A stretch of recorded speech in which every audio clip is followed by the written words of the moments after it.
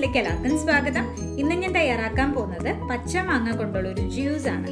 അപ്പം നമുക്ക് എങ്ങനെ വളരെ എളുപ്പത്തിൽ പച്ചമാങ്ങ ജ്യൂസ് തയ്യാറാക്കാൻ നോക്കാം. ഇപ്പം മാങ്ങയെല്ലാം വളരെ ഈസിലി അവൈലബിൾ ആണ്. ഇപ്പം മാങ്ങയുടെ സീസൺ ആണ്. അപ്പോൾ നമുക്ക് ആദ്യം അതിന് ചെയ്യേണ്ടത് അതിന്റെ തൊലിയെല്ലാം കളഞ്ഞ് ചെറിയ ക്യൂബ്സ് ആയിട്ട് അരിഞ്ഞെടുക്കാം. അതിനുശേഷം അതിനെ ഒരു മിക്സിയുടെ ജാറിലേക്ക് ആഡ് ചെയ്ത് കൊടുക്കാം. ഇതിലേക്ക് ഞാൻ ഒരു ചെറിയ പീസ് ഇഞ്ചി ചേർക്കുന്നുണ്ട്. അത് ഓപ്ഷണലാണ് കുഞ്ഞുങ്ങൾക്കാണെങ്കിൽ അതിന്റെ ആവശ്യമില്ല.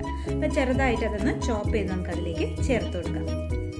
ഇനി ഇതിലേക്ക് ഞാൻ അഞ്ച് ടേബിൾ സ്പൂൺ പഞ്ചസാര ചേർക്കുന്നുണ്ട്.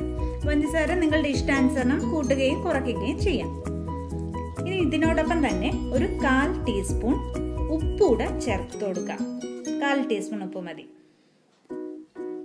നമുക്കിതിലേക്ക് വെള്ളം ചേർത്ത് കൊടുക്കാം. ഒരു കപ്പോളം വെള്ളം.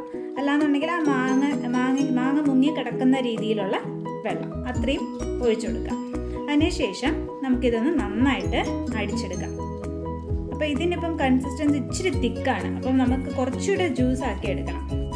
അപ്പോൾ അതിലേക്ക് അല്പം കൂടി വെള്ളം ചേർത്ത് നന്നായിട്ടൊന്ന് അടിച്ചെടുക്കാം. അപ്പോൾ ഈ ഒരു കൺസിസ്റ്റൻസിയിൽ വേണം നമുക്ക് കിട്ടാനായിട്ട്. അപ്പോൾ വേണമെങ്കിൽ നിങ്ങൾക്കിത് അരിച്ചെടുക്കാം. ചെറിയ തരി വരും. അത് വേണമെങ്കിൽ നിങ്ങൾക്ക് അരിച്ച് അരിച്ചെടുക്കാം. ഒരരിപ്പ ഉപയോഗിച്ച് അരിച്ചെടുക്കാം.